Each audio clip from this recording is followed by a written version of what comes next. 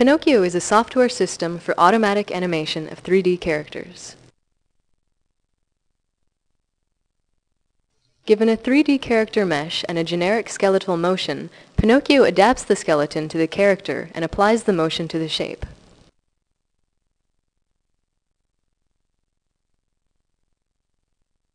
The result is an animated character.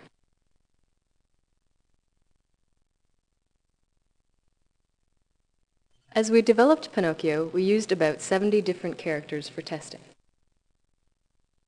After Pinocchio had been completed, we tested it on 16 biped characters that we did not see or use during development. Here, all 16 of our test characters are shown. A single biped skeleton was used to animate all of them, demonstrating the generality of our approach. Three of these characters required a single manual hint to produce a good motion.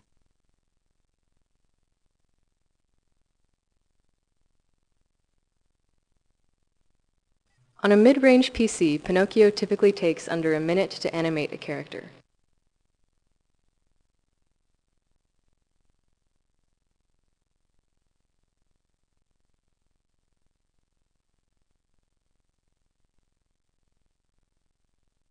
Pinocchio can produce plausible animations even in some unexpected cases.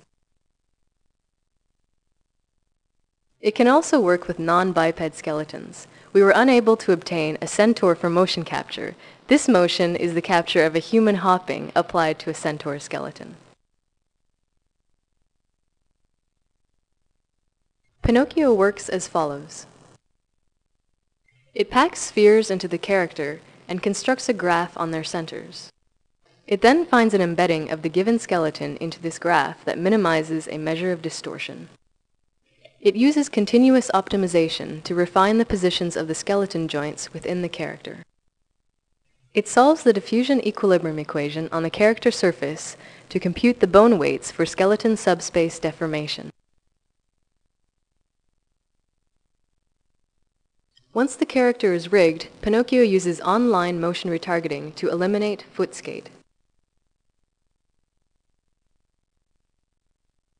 Pinocchio requires that the character be given in roughly the same orientation and pose as the skeleton. This is the result if the character's orientation is flipped vertically. Pinocchio has no capability to differentiate between materials. This leads to unrealistic rubbery motion of a knight's armor and a woman's dress. In our blind validation test, Pinocchio correctly embedded the skeleton into 13 of our 16 test models. Pinocchio incorrectly embedded the skeleton into these three test characters.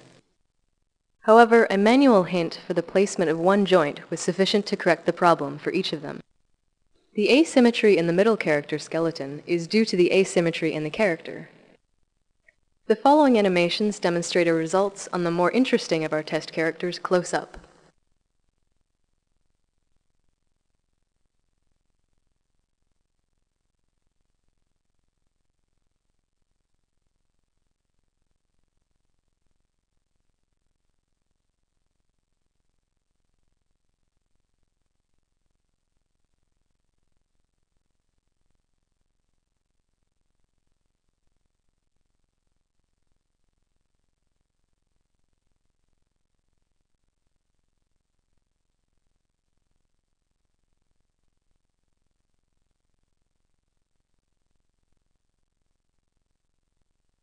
Pinocchio is best suited for children and amateur animators. It generates pleasing animations automatically in almost all of our tests with unfamiliar 3D shapes.